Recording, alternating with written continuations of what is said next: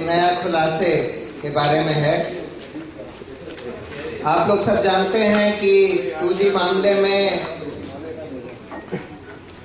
शाहिद बलवा को चार्जशीट किया गया था।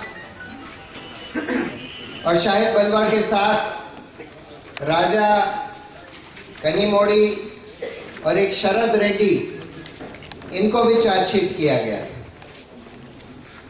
और सीबीआई की चार्जशीट में ये लिखा था कि शाहिद बलवा, जिसको स्वॉन टेलीकॉम जो स्वॉन टेलीकॉम का डायरेक्टर था स्वॉन टेलीकॉम वैसे ओरिजिनली रिलायंस कंपनी ने बनाई थी, जिसके वजह से रिलायंस के भी कुछ ऑफिसर्स को चार्जशीट किया गया। और रिलायंस कंपनी को एक पहले ही लाइसेंस मिल चुका था। और वो लोग एलिजिबल नहीं थे दूसरे लाइसेंस के लिए। लेकिन फिर भी एक फर्जी कंपनी बनाई गई स्वॉन टेलीकॉम और उसके नाम से एक दूसरे सेट ऑफ़ लाइसेंसेस राजा ने स्वान टेलीकॉम को दिए।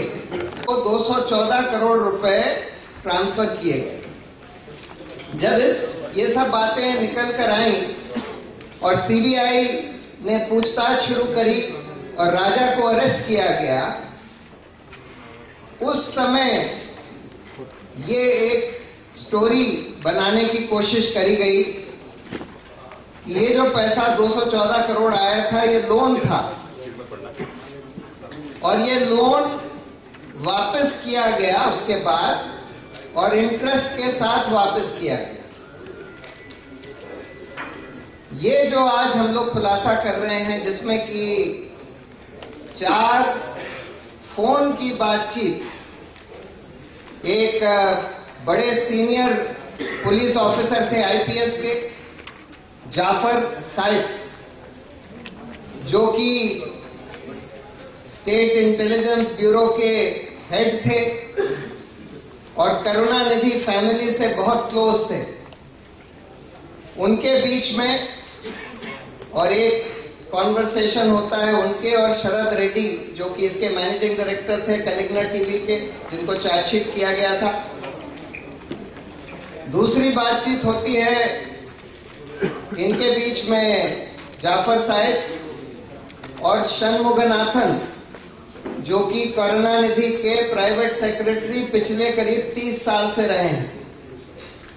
और कहा जाता है कि करुणानिधि जो कुछ भी अपनी डीलिंग करते हैं, इन्हीं के थ्रू करते हैं। और दो कॉन्वर्सेशन हैं जाफ़र शायद और कनी मोड़ी के बीच में।